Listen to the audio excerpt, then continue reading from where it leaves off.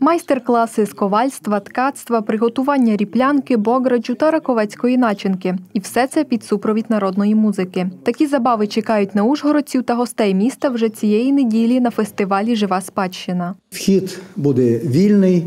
Е, Наш скансен оживає, оживає не просто як е, історична музейна, музейні експонати, а ці експонати будуть е, заповнені живим, е, так і називається жива спадщина. Е, Будуть відтворюватися події, які відбуваються в тому чи іншому селі. Будуть майстер-класи по виготовленню нематеріальної культурної спадщини. В чому родзинка цього цієї події, те, що можна побачити, як це виготовляється, і ще й покуштувати. Учасники познайомлять гостей із елементами нематеріальної культурної спадщини, які увійшли до національного переліку елементів НКС України. До прикладу, покажуть лозоплетіння та навчать варити бринзу. Живу спадщину представляють 11 територіальних громад краю від Ужгородщини до Рахівщини. Буде багато ще таких молодих громад, як Пилипецька, к- к- Конопелі, ця, е,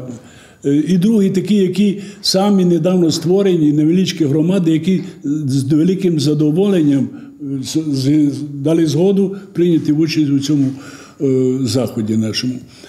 І дійсно вони показують, е, крім е, мат- е, матеріальної сторони, тобто, що вони, і при тому ставиться питання, щоб було не, не то, щоб вони просто там щось зварили так, а іменно те, що в цьому регіоні присуще було колись. А музичні колективи краю готують для відвідувачів незабутній концерт. Музики та танців буде вдосталь. Будуть виступати і фольклорні колективи е, в кожному просторі відповідно е, своєї територіальної громади, але ще й планується і загальний такий е, невеличкий концертний виступ фольклорних е, колективів. Відвідати свято зможе кожен охочий вже цієї неділі у музеї архітектури та побуту. Стартує фестиваль о 12-й. Вхід вільний.